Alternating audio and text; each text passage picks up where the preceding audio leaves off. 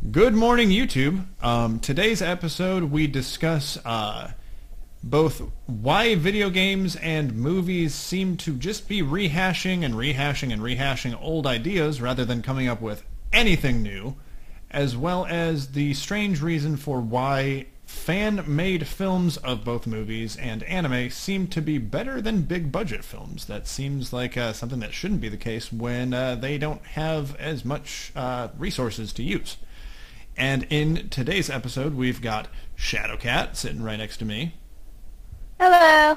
And we've got... Nice to be back. Yeah, yeah, yeah. We've got uh, Rick, who has aged quite significantly. He is now Gandalf. Hello. And we've It's not got... even his final form. Yeah. We've got a third wheel sitting next to him. You know it. And then over in the corner, as Morgan Freeman, we have Emerald. In the flesh, baby. Yeah, uh, I will leave links to Emerald's and uh, ShadowKat's uh, their their YouTubes in the description of this video. Um, so I guess I'm just gonna I'm just gonna open up the floor to uh, whoever. Uh, I guess I'll start with ShadowKat with uh, your your your thoughts on these uh, these subjects. I guess we're gonna start discussing the the the movies and games first, and then we'll jump into anime later. Well, see, like with rehashing, it's really annoying. Like especially like let's look at Disney for a moment. Look at all the re um, rehashings they've done of the Jungle Book, of Beauty and the Beast, Mhm. of I can't- um, they're redoing Mulan currently as we speak. Yep, I don't know yep. if it's being edited, but like they don't have any original ideas. And sometimes when they do the rehashing, like let's look at Maleficent. Maleficent has completely ruined Sleeping Beauty now. hmm You I mean, I, I. I, I haven't seen it, so I don't know, but I, I'm Oh, going to okay. go with your well, opinion on for that. those of you that have out there, like if you watch Maleficent now, the way they, the way the people died in the original story, uh, the Sleeping Beauty's parents or Aurora's parents didn't die; they were put to sleep. yeah, yeah. But then in Maleficent, they both died, They're like, nope, you're dead. and dead. it's just, it's just, just they need to stop remaking their old stuff that made really good money, and they need to just try and actually go out on a new path. But why, why, why, why do you think Wars. that they're they're doing that as opposed to making new movies? Like, is Oh, it just they've run out of ideas. ideas? It's either they've run out of ideas or they're so lazy that they're like, oh, well, you know, these ideas made tons of money. Let's redo them with good, better actors. And as, like- as as for games though, See, just trying to just think the of. Just, I'm trying to think of just like one game, like well, one t- game or game movie that was remade and just like kind of ruined it. well, take take take like, take put- your character into into aspect like Tomb Raider. They have made Tomb Raider, Rise of the Tomb Raider, Rise of the Rise of the Tomb Raider. Like everything is just Yeah. a reboot. Like, really? It- yeah, and how many Indiana Jones movies are there out there right now that are Mm. just ridiculous? hmm Uh, what about you, Rick? What is uh, what is your thoughts on on this? Well, sometimes the the rehashing comes out good. I will Yeah. say that. Yeah. For for example, it, it, at least in my opinion, um, the rehash of Total Recall. Mhm. You know, they they changed a lot in the movie, but they kept the characters' names and some of the, the uh, aspects of what happened in the in the original movie. But Mhm. in essence, it's a, it's a different movie. Um, the the other one that comes to mind that's good is RoboCop. They completely redid that story as well, but th- I think they changed it for the better in that one. Okay. But what about what what about games? What about games? Like Jeez, where do you start on that one? Um, they, they're, you know, I, I, I'm. It's, yeah. It's hard to explain. See, now, see, I can say this because as much of a fan at, of Five Nights at Freddy of Freddy's as I am, Mm. there's now technically six, but nobody talks about FNAF World. So there's five games, and like each of them have good stories, so they were all done, but it's the same gameplay that's redone. yeah. Which I'm not going to hate Scott Cawthon because he's made a decent game. Mm. But to have, but like, some of them, like for, for perfect example, I don't know how many of you guys will believe will agree, but FNAF three, that one was way too rushed. The gameplay's way Oh, too yeah. is easy, Oh, yeah. and it's just it's it's just not scary. Well, Once the you problem get used to the jump gears, it's fine. the problem with that one, he didn't take long to develop that game at all. Like that one took like not even a couple of months for him to just rush out and produce. I think he he was way more focused on the uh, on the story aspect and on the the Easter eggs aspect over the uh, the actual gameplay itself. oh yeah, definitely. So what about uh, what about you, Emerald? What are your uh, thoughts on this whole debacle? So, I mean, like we have to start from the bottom up. Is is that we live in a capitalist culture, and movie making is a business. Yeah. In being a business, you have to make decisions. Now, these movies are costing roughly a hundred thousand, or sorry, not hundred thousand, hundred million, or like two hundred million a piece usually. Yeah. And so if you're like investing in a movie that takes like three years to make and you're dumping 100 million, you need to guarantee a return on investment. So if we look at like Monster Trucks, for instance, that was released in 2016. Like, a, it's a new idea, but I mean, like, it's not really any good. I mean, not by any sort of critical standard.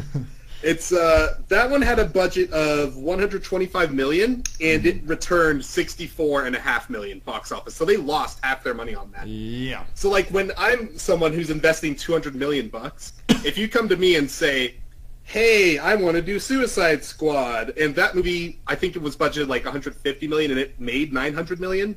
I mean, it's a horrible movie, but I'm getting my return on investment. Whereas if you present me a new idea, it's not.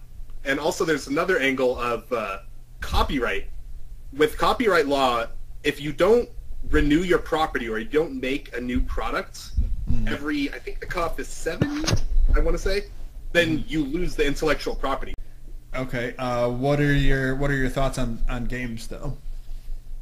Uh, games are kind of a different market as far as I can see. Like, I mean, in in film, the indie market is a lot more. I don't want to say underground, but it's not as accessible just to a layman.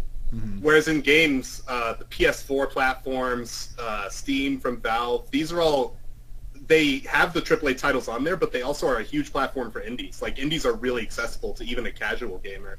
But so like it, the AAA's can keep cranking out these. it, it still seems like they're cranking out the exact same crap though. It's all call, like Call of Duty, Call of Duty, Call of Duty, just slightly different storylines. Tomb Raider, Tomb Raider, Tomb Raider, Tomb Raider, slightly different storylines. Doom, Doom, Doom, Doom, Doom, just the same storyline brought onto different platforms. It doesn't seem like they're really coming out with anything original. And I think that has to do with like, oh, go ahead. and, and the other thing is, is that uh, they keep using the same engine. Yeah. When was the last time that that um, Unreal Engine was updated? I couldn't answer that one. That's a very good question. Yeah. But uh, what, what what what were you saying, uh, Emerald? So I think that like video games are kind of still a new medium in a sense. Like uh, uh, I think that a lot of the executives who are making these kind of purchasing decisions in video games are uh, like uh, Jim Sterling a while ago talked about how like Clash of Clans, Call of Duty, and Candy Crush back in like two years ago or so were kind of the only games, and those were the models. Yeah. And I think a lot of them are running blind, so they're kind of falling into the same trap of they don't want to take any risks, but we don't really have a lot of original content to go off of, so everything is kind of duplicating itself in that sense, Yeah. which is a problem I don't really have an answer to at this point. Uh, well, I mean, personally, I feel like I can I can kind of understand why movies aren't coming out with original content because, like, there's so many platforms out there nowadays that like their their movies can be pirated and they they're like, oh, I don't I, I don't want to spend all this money on coming up with an original idea if someone's just going to pirate my movie and I'm not going to make any money off of it. And then there's the fear that the movie would go straight to box office too. There's so many movies like, move for, like we're gonna go to the book aspect for just a moment. Mm-hmm. One book that I read called Maximum Ride, like everyone was hearing, oh, the movie's gonna come out soon. The movie's gonna come out soon. Next thing we know, it was on Netflix. I don't know. It's just I I don't like seeing movies remade, especially like when they do remakes of movies that came out like 5 years ago. There's no point in making a remake. Like I can understand uh making like I don't know, another freaking Nose for You movie because that's like black and white stuff. But like movies that came out like t- freaking remaking The Mummy, which Ugh. was 1999. That's not that's not enough time to remake the movie, and they're I mean they're not they're kind of have an original aspect to it where it's like a female mummy this time, but I mean it doesn't look as good as the original, and the original came out in 1999, so it should look better and it should be a better movie. New, take the new Ghostbusters, for example, as much as I love Melissa McCarthy and those female actresses, and as much as I thought the movie was hilarious, Mhm. The original Ghostbusters were the guys. Well, I mean, So I'm, just- I'm just waiting for them to remake the Three Amigos without frickin' Chevy Chase, Martin Short, and Steve Martin in it, and then I'm just going to be done. Huh. I, yeah. I watched a, a video on YouTube not too long ago that was kind of talking about this issue of like even the original movies coming out now are kind of falling into this trap of using old familiar things like the Emoji Movie. It's an original property, but using the same oh. concept of this like this old widespread. oh, Everybody knows what an emoji is. It's ba- I mean, it's basically a rehash of something that hasn't been created yet, just because it's so widespread. Yeah. But it should not be made. It, why? Why? Why is the Emoji Movie a thing? Well, I mean, to be fair, to be fair, Money. our, our yeah, our society, we we make stupid things and stupid people famous. I mean, party. I mean, well, yes, that or or pe- pe- Cash people. me outside. How about that? I was just gonna say that, like people like that are getting all of the news time, and it's just like we shouldn't be idolizing these people or these things. Like, there's so much that we could do if we weren't doing stupid things like this. But, okay, so um, I'm gonna go ahead and uh, have us move to the other topic of why is it that fan-made films, when it comes to gaming and uh, anime, especially anime, are better than the big budget films. Like, how how is that a thing when we don't have anywhere near the resources that they do? Okay, well, that's a really simple answer. One, fans are more in touch with the fan base, and they're a hell of a lot more creative. Because me knowing uh, fans and how they can be, they they basically recite this crap in their heads. They come up with original ideas like this all the time. All they got to do is put it to pen and paper. Yeah. Yeah. But, but I mean, we, we still don't have the the money or the resources that big budget companies do. even with donations, there are people right now that struggle. I mean, there's uh, let me think of just one here. I think it's Tony Crynight. I think that's who it is. I'd have to double check, but he does FNAF animations, just because of course that's what I'm obsessed with. and then there's people that do the Undertale animations that take like the iconic battles between Sans, Mettaton, Muffet, and take those and animate them. But I fear if someone in Hollywood tried to do that, they would They completely obliterate it. The Mm. fans make these most amazing animations. It's just like because the the people that create the movies or like help create the movies are not in it for the fans. They're in it to like how can we make the most money. Yeah. That's literally what it is. Well, I mean, uh, let's let's refer to something that was uh, fairly recent. Um, the Rurouni Kenshin live action movies. Um, I, I, I, I'm, I'm a fan of both the original series and the uh, the manga. Um, but like the live action, while I'm not going to say it was bad, it wasn't nearly as good as it could have been had it followed the actual storyline that they had in place. Like there were there were some sequences in that that just like literally made me facepalm. Like there was a character um, that was uh, named Usui. Usui the Blind, who was a blind swordsman. Um, he had an entire like he showed up in the entire Kyoto arc like multiple times. He had a very uh, concise battle with Hajime Saito, one of the characters. I, I know you guys don't necessarily know much about the series, but uh, he he was a big character that showed up multiple times in the series. In the live action movie, he literally had four seconds of screen time and was killed. Get rid of the elephant in the room. Okay.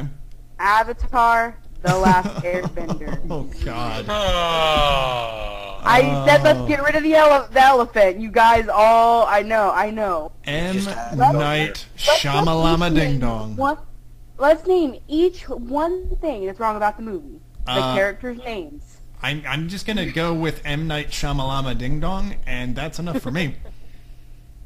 Yeah, I tend to agree with that one. Like, Piss poor acting. like, like, like when I when, when I saw the interview with uh, the the writers of Avatar, and they're like, "Yeah, we're making a live action," and then I saw M Night Shyamalan sitting next to him. I'm like, "Oh no! Why would you do that?" Don't get me wrong, Avatar. If you if you don't see the the anime, it, a movie by itself is it's a good movie. Oh yeah, if you went into it blind, Mm. not being a fan, it was good for what it was. Mhm. The styles were good, but I mean, the acting was you- still terrible. The Yeah, acting the, was the acting was terrible. The act, uh, the acting was terrible. But like the minute you're the person that has watched it, you hear Ong and Suka. Ugh. I mean, Just I the way it made the and the way, in my opinion, the way they made earthbending look. Earthbending. When you think Earth, you think tough rock. They made it look like they were playing with like ribbons in the air, in my opinion. and I was so ma- I actually walked out of the theater for a few minutes because of that. I mean, I mean, like, there's even situations uh, with, with with gaming gaming movies, like, uh, and, I, and I'm gonna, I'm gonna put this out there: the original Mortal Kombat movie. That To- wasn't a bad movie. To be fair, to be fair, Mortal Kombat was never supposed to be taken seriously in the first place. It, wa it was originally supposed to be a, a movie about Jean or a game about Jean Claude Van Damme just killing people. But I mean, I feel I feel the original movie as hokey and freaking it, it it was it was the Power Rangers of fighting movies. Oh yeah. Um, oh, Power Rangers. it it could it could have been the worse. new one was good, Shadow. It- it- I haven't seen it, but I'm talking about though. old. That's fair. Like the with the Mortal Kombat and like the Dead or Alive movies, like there's that like super campy charm that they had. Like Yeah. they weren't meant to be serious. Like they knew what they were doing. I, Yeah. I, I think they did it well. They were just trying to be like way over the top. Like how stupid can this be? And then they did it really well. Yeah, I feel I feel I feel like they were kind of treating it like uh like Baywatch, where it's like we can't take this seriously. But um, if you I've got to say the worst gaming movies though, Street Fighter. that was pretty I don't bad. think I've seen that one either. That was pretty bad. Wow. Um, but I'm just had Jean Claude Van Damme in it. I'm just gonna No, I'm- the worst one's the Mario Brothers movie. Oh yeah. With that, uh, I, I I think I'm gonna close the conversation. Um, I I just want to uh, thank my my co co people, my uh, ShadowKat here. Again, I'm gonna put her uh, link in the description. We've got Rick and uh, Third over here, and then we've got Morgan Freeman, also known as Emerald. Again, I am going to link the description of uh, his channel below. Um, as for next week's, Link, put his link in the description. I've heard it both ways. Shut up. Or you could describe my channel. I, I could, I could. Um, but uh, a, as for next week's episode, we rely heavily on comments. So basically, if you have a topic that you want us to discuss on here, even if it's silly, uh, just leave it in the comments section below. The comment with the most likes will be the uh, the next top topic, or or The sillier we'll- the better. well, not not necessarily. I mean, silly. if you, if you have any if you have any good ones, yeah, it can be silly or it can be actually serious. Or, I mean, if there's no comments about stuff that uh, you guys want us to uh, talk about, we'll just come up with something on the fly, like ShadowKat did here with uh, this particular topic. And uh, yeah, I want you guys to you know be involved. So anything that you want us to discuss, link it in the comment section. Be like, hey, you know what? You should you should discuss pancakes. Like they're super good. They should be discussed. But yeah, thank you guys for watching, and uh, I look forward to uh, seeing the comments and seeing uh, what you guys uh, want us to discuss. And uh, I guess join us next week. Uh, not necessarily the same people are going to be here, but they might be. I don't know. Thank you guys for joining us, and I will see you in next week's episode. Okay, so uh, as for the outro today, we are going to do a stack battle. Uh, it's going to be... Uh, Put your put your RPG away. it's going to be Emerald versus, uh, well, yeah, Emerald versus ShadowKat. Ready and fight. Dude, I used to play competitive games. We're good. I got Twitch shots. It's a mess. Wow. Yeah, yeah, dude, those are positive Uh, connections. oh, There's the Idiot!